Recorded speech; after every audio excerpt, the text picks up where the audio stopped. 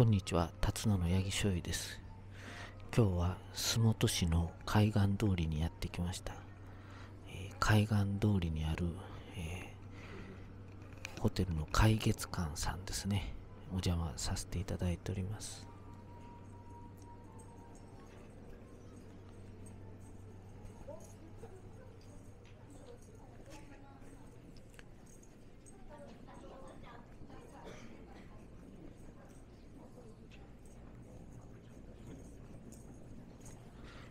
ちらの売店にて、えー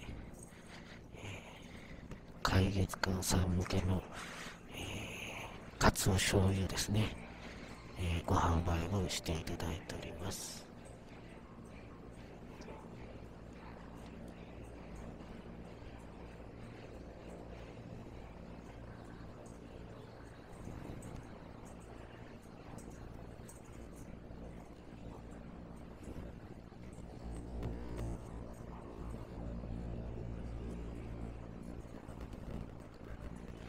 えーこちら、カツオ醤油ですね。